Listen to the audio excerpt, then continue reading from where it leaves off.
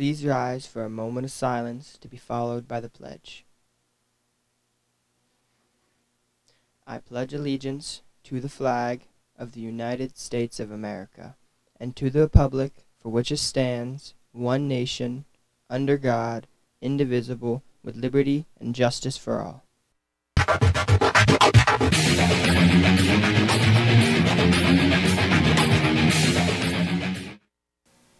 Good morning, BHS. I'm Kessa, And I'm Kylie. and welcome to Bash TV. Today is Thursday, October 12th, making today the official 26th day of school and day two of the cycle. The lunch menu for today will be Salisbury steak with gravy and fresh sliced bread. Breakfast menu for tomorrow will be mini cinnamon waffles, fruit, juice, and milk. Seniors, please check your email for class updates, scholarship, and volunteer opportunities. The next SAT will be on December 2nd. The registration deadline is November 2nd. Register online at College Board.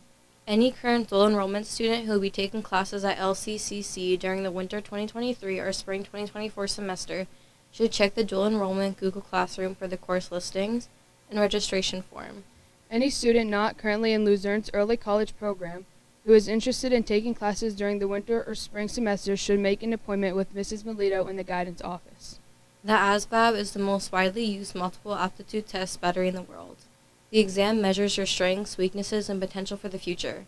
The ASVAB is offered to current juniors and seniors on Monday, November 13th during periods 1 through 4. Interested students should sign up in the guidance office by November 8th. There is no military obligation associated with the ASVAB. Well, that's it from the main desk. Now let's send it over to Justin with FYI.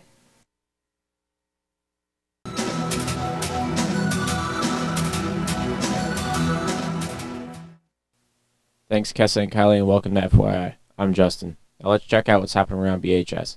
There will be a show meeting on Friday, October 13th in the library at either 7:30 a.m. or 2:40 p.m. Please try to attend one of these meeting, meetings if you are interested in joining. Cinderella's Closet, located in room 66, offers hundreds of free formal dresses and suits for students. If you'd like to find a free dress or suit for homecoming, stop in Mr. Phillips' room 53 to schedule a fitting appointment. Ticket- Tickets for the homecoming dance are on sale now in the guidance office. Admission to the homecoming ceremony is separate and can only be paid at the door at the night of the ceremony. BHS Pink Out will take place on Friday, October 27th. Order your t-shirt from any student council member or in the guidance office. Empire Beauty School, located in Moosic, PA, will be here on October 24th at 1 p.m. to talk to students interested in pursuing a career in cosmetology. Don't miss out. Sign up today in the guidance office. Well, that's it for FYI. Let's send over to Bryn with sports.